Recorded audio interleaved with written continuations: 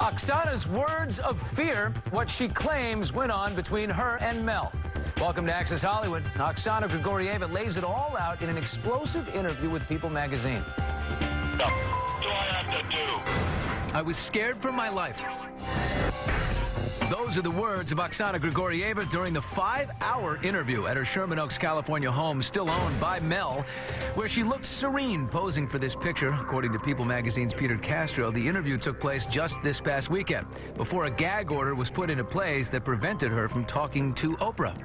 Everything was completely fair game, and to her credit, she answered every single question. You did great. That includes allegations about an incident on January 6th that led Oksana to say, I thought he would kill me. She claims Mel was home with their then two month old baby Lucia and the babysitter. And when Oksana returned, she found him enraged and frothing at the mouth. It was when she said she was leaving the house that she alleges Mel punched her twice, once to the head, once in the mouth, knocking out her veneers. After she got hit, um, she alleges that Mel choked her. And after that incident, she fled the room, tried to get her keys to go out, and that's when she said that he pulled a gun out of his shorts and started waving it at her. Oksana claims the altercation even caused an injury to the baby when one of the blows aimed at Oksana brushed Lucia's chin and drew a small amount of blood. The next incident, six weeks later, on February 18th, Oksana claims Mel flew into a rage at a tree planting ceremony in honor of Lucia, even tossing the baby at her, saying, Take her or I'll hurt her. That's the night of the infamous phone calls, which were released by Radar Online. You didn't crack a smile with the tree ceremony out there. Nothing.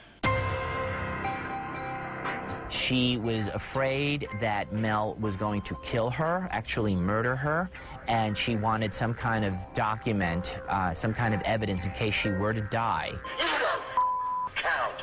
You're using her. She vehemently denies, vehemently denies that she ever leaked them, that she ever made money off of them. She swears she has no idea how they got out. Once a happy couple, Oksana says Lucia was planned and that Mel wanted a, quote, love baby. Her personal photos in the magazine certainly paint a brighter picture. Mel snuggles Oksana's neck in what she calls one of our special mornings. Now the two share custody of Lucia as a custody case rages on, and Oksana says she was just granted $20,000 a month in child support.